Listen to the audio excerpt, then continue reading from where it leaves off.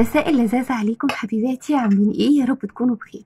النهاردة هعمل لكم أحلى كبسة بالإندومي هتعجبكم جدا إن شاء الله.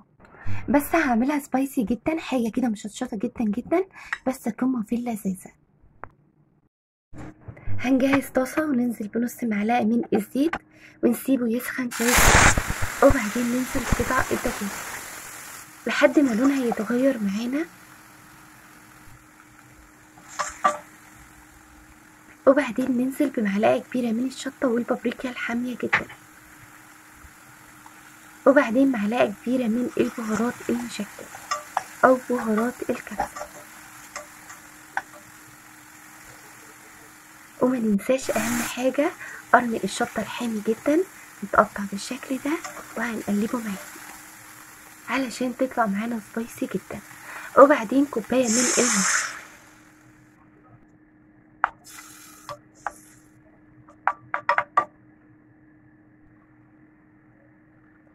هنغطيها وهنسيبها تستوي لمدة خمس دقايق بالظبط. بعد خمس دقايق استوت معايا كويس جدا. هننزل آه بالإندومي.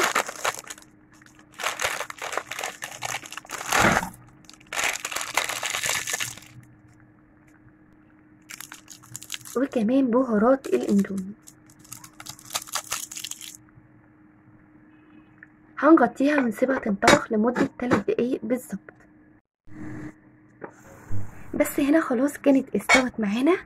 وكمان عايزة أقول لكم إن ريحتها حلوة جدا. لذيذة لذيذه بصراحة. عايزة تتاكل. جميلة. آه كمان دي من أجمل وصفات الإندومي اللي ممكن تعملوها وتعجبكم من أول مرة.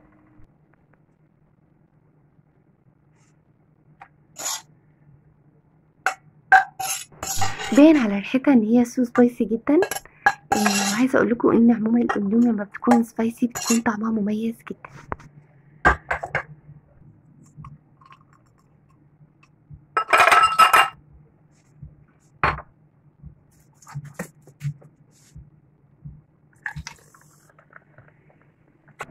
حرفيا هي لذيذة وتعدت كل مراحل اللذاذة.